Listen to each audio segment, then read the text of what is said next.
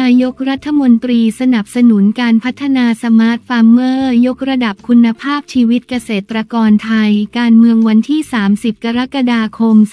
2567 8นาฬิกา36 นาทีนายกรัฐมนตรีสนับสนุนการพัฒนา Smart Farmer ยกระดับคุณภาพชีวิตเกษตรกรไทย มุ่งพัฒนาภาคการเกษตรให้เติบโต ผนวกการใช้เทคโนโลยีและนวัตกรรม สร้างมูลค่าเพิ่มให้ผลผลิตต่อเนื่องวันที่ 30 กรกฎาคม 67 นายชัยวัชรงค์โฆษกประจำสำนักนายกรัฐมนตรีเปิดเผยว่านายเศรษฐาทวีสินนายกรัฐมนตรีเดินหน้าพัฒนาภาคอุตสาหกรรมการเกษตรของไทยอย่างต่อเนื่อง ตั้งเป้าพัฒนา Smart Farmer ยกระดับการแปรรูปผลิตภัณฑ์ เพิ่มมูลค่าผลผลิตการเกษตรจากท้องถิ่น ส่งเสริมการนำเทคโนโลยีมาใช้เพื่อเสริมสร้างประสิทธิภาพ และเป็นมิตรกับสิ่งแวดล้อมพัฒนาคุณภาพชีวิตเกษตรกรไทยให้เติบโตอย่างยั่งยืน ทั้งนี้รัฐบาลให้ความสำคัญกับการดำเนินนโยบายด้านการเกษตร ดูแลเกษตรกรยกระดับสินค้าเกษตรกรรมเป็นอย่างมาก เนื่องจากเป็นรากฐานสำคัญในการพัฒนาเศรษฐกิจและสังคมของประเทศ สอดคล้องกับวิสัยทัศน์ IGNITE Thailand Agriculture Hub ผลักดันไทยสู่ศูนย์กลางเกษตรและอาหารของโลก ซึ่งนายกรัฐมนตรีได้มอบนโยบายด้านการพัฒนาการเกษตรอย่างรอบด้าน อัพราคาสินค้าเกษตรให้เกษตรกรมีรายได้สุทธิมากขึ้น 3 เท่าใน 4 ปี และมีชีวิตความเป็นอยู่ที่ดีขึ้น โฆษกประจำสำนักนายกรัฐมนตรีกล่าวว่า ทั้งนี้รัฐบาลได้ดำเนินนโยบายต่อยอดสู่การสร้าง Smart Farmer หรือเกษตรกรอัจฉริยะเน้นการสร้างตลาดนำนวัตกรรมมาใช้สร้างมูลค่าเพิ่ม Value Added ให้กับผลิตผลทางการเกษตร โดยการแปรรูปเป็นผลิตภัณฑ์ประเภทอาหาร ฟู้ดและไม่ใช่อาหาร นอนฟู้ด รวมทั้งใช้ความรู้ทางการวิจัยและพัฒนา วิทยาศาสตร์เทคโนโลยี และเครื่องจักรเข้ามาช่วยในกระบวนการผลิต ควบคุมคุณภาพช่วยแก้ปัญหาการทำเกษตรสร้างมาตรฐานการผลิตรวมถึงสร้างตลาดใหม่เป็นศูนย์รวมการกระจายสินค้าทางการเกษตร ทั้งในและต่างประเทศนายชัยกล่าวว่า จุดมุ่งหมายในการพัฒนาเกษตรกรไทยสู่ Smart Farmer ได้การบูรณาการร่วมกับการบริหารจัดการฟาร์มยุคใหม่ Smart Farming โดยข้อมูลของสำนักงานปลัดกระทรวงเกษตรและสหกรณ์ การบริหารจัดการดังกล่าวเน้นการพัฒนาด้านเกษตรกรรมในสี่ด้านได้แก่หนึ่ง การลดต้นทุนในกระบวนการผลิต 2. การเพิ่มคุณภาพมาตรฐานการผลิตและสินค้า 3. ลดความเสี่ยงในภาคเกษตรจากการระบาดของศัตรูพืชและภัยธรรมชาติ และ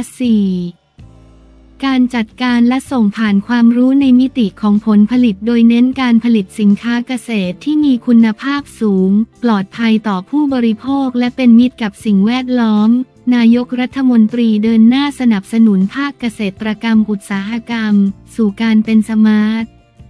Farmer อย่างต่อเนื่องยกระดับผลผลิตการเกษตรจากท้องถิ่น ให้สามารถนำไปแปรรูปสร้างมูลค่าเพิ่มได้ พร้อมส่งเสริมการนำเทคโนโลยีใช้เป็นเครื่องทุ่นแรงในการทำการเกษตร เพื่ออำนวยความสะดวก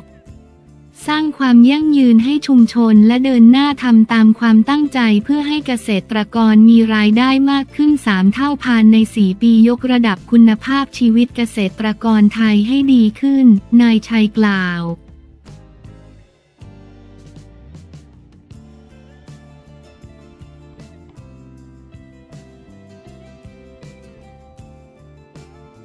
สุดตื่นเต้นแจ็คแฟนฉันปล่อยโฮคุณ พ่อป้ายแดงลุ้นหน้าห้อง เมียคลอดลูกชายแล้วบันเทิงวันที่ 28 กรกฎาคม 2567 16นาฬิกา59 นาที สุดตื่นเต้นแจ็คแฟนฉันสุดกลั้นน้ำตาปล่อยโฮ เป็นคุณพ่อป้ายแดงลุ้นหน้าห้อง เมียคลอดน้องคากิลูกชายแล้วเปิดภาพแรกทั้งวงการแห่ยินดีเพิ่งโพสต์คลิปปล่อยโฮแจ็คแฟนฉันขณะรอใบหมอนภรรยาคลอดน้องคากิ อมเผยทั้งน้ำตาบอกว่าสุดตื่นเต้น และบอกภรรยาสู้ๆด้วยล่าสุด คุณพ่อป้ายแดง แจ็คแฟนฉันเปิดภาพแรกของน้องคากิลูกน้อยออกมาลืมตาดูโลกแล้วพร้อมแคปชั่นว่า คากิลูกพ่อแจ็คกับแม่ใบหม่อนโดยมีเพื่อนๆในวงการบันเทิงไม่ว่าจะเป็นนิกกี้ ณฉัตรเพื่อนสนิท เบสคำสิง เบียร์ ใบหยก แท็ค ภรัณยู ธัญญาธัญญาเรศเป็นต้น ต่างก็เข้ามาร่วมแสดงความยินดีกันอย่างต่อเนื่อง พร้อมทั้งแห่ชมความน่าเอ็นดูลูกชายของแจ็คแฟนฉันด้วย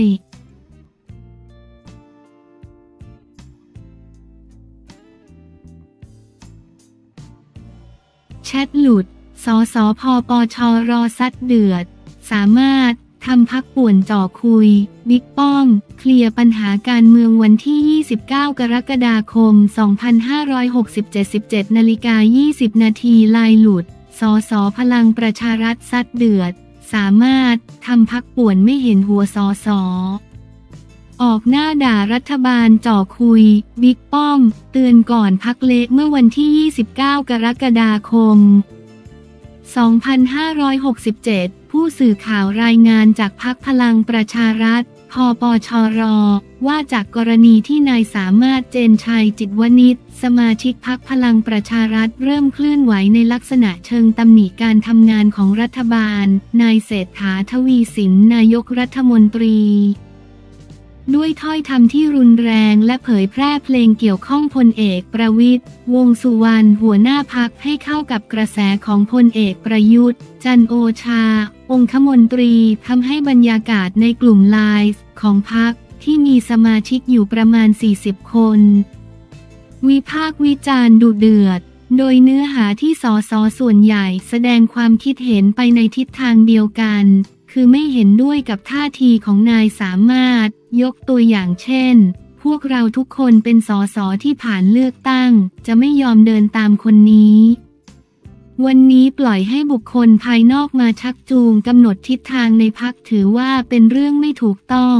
เนื่องจากสองสัปดาห์ที่ผ่านมาข่าวสารของพักที่ออกไปสู่ภายนอก มีแต่ชื่อสามารถและอดีตเตส สอบตกที่เข้ามาใหม่ตลอด ทำให้การทำงานของสอสอในสภาที่พยายามยกระดับพักสร้างผลงานให้พักนโยบายของพักหรือทิศทางพักหายไปหมด เราจะเดินตามพวกสวะมานำเราหรือ จะไม่ทนให้พวกนี้มาทำลายพักที่พวกเราก็ตั้งมาอีกต่อไป ไม่อยากให้ใครก็ไม่รู้คนที่ไม่เคยทำประโยชน์ให้พักมาแสดงตนเป็นตัวแทนพวกเรา สามารถเป็นใครรู้จักสอสอหรือไม่พักจะเล็ก เพราะพวกนี้เอาอะไรไม่รู้มาสร้างความปั่นป่วน วุ่นวายเต็มพักไปหมดทำอะไรไม่เคยถามความเห็นสอสออย่าให้คนที่ไร้ความคิดไร้สติปัญญา มากำหนดอนาคตทางการเมืองให้พวกเราเลย ก่อนที่พักมันจะเละไปกว่านี้ผู้สื่อข่าวรายงานว่า นอกจากนั้นสอสอบางคน แสดงความคิดเห็นไม่พอใจต่อเพลงที่นายสามารถนำมาเผยแพร่ในส่วนของนโยบายบัตรประชารัฐ ที่เป็นนโยบายหลักของพรรคแต่กลับถูกทำให้ประชาชนเข้าใจว่าผิดว่า เป็นนโยบายที่เดินตามพรรคการเมืองอื่น ทั้งที่เราเป็นคนกำหนดนโยบายนี้เอง ทั้งนี้สสบางคนระบุว่าในวันอังคาร วันที่ 30 กรกฎาคม ที่จะมีการประชุมพักจะขอคุยกับพลเอกประวิทย์ให้รับทราบว่าทุกคนยืนเคียงข้างพลเอกประวิทย์แต่สถานการณ์พักแนวทางพักควรขับเคลื่อนโดยสสและกรรมการบริหารพักที่รักพักนี้เป็นหลัก